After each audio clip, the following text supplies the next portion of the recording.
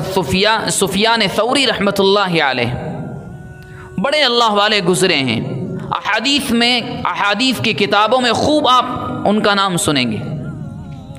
एक मरतबा नमाज़ पढ़ रहे थे, पढ़ा रहे थे।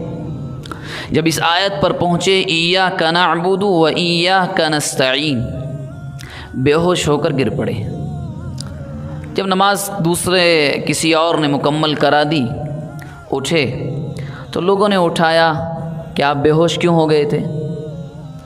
तो उनका जवाब आप सुने क्या फरमाया? कि मैंने जब ये आयत पढ़ी ईया का नाबुद व ईया का नस्तीन तर्जमा, मौला, हम आपकी इबादत करते हैं, आप ही से मदद चाहते हैं। मुझे लगा कि शायद मेरी ज़बान तो ये कह रही है, मगर मैं अमाल के एतबार से झूठा हूँ। यानी मैं ज़बान से तो इकरार कर रहा हूँ खड़े होके कि मौला सब कुछ आप हैं। मबूद, आप इलाह, आप राजिक, आप मालिक, आप सब कुछ आप।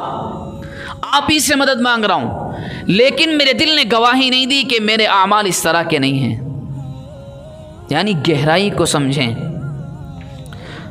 मालूम ये हुआ कि जब हम पढ़ें तो इसका एहसास भी दिल के अंदर हो। क्या हकीकता हम अल्लाह की इबादत करते भी हैं या सिर्फ़ दिखाने के लिए? क्या हम हकीकता अल्लाह से मदद मांगते भी हैं सिर्फ़ दिखाने के लिए?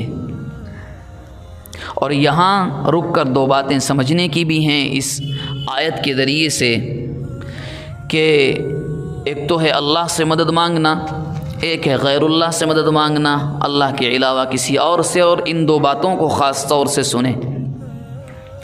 इस आयत के ज़रिए से तमाम वो सूरतें जिनके ज़रिए जिन में जिन सूरतों में गैरुल्लाह से मदद मांगी जा सकती थी, कुरान ने सब पर पाबंदी लगा दी। अब अगर इबादत होगी तो हमारी मदद मांगोगे तो हमसे, इसके अलावा किसी से नहीं।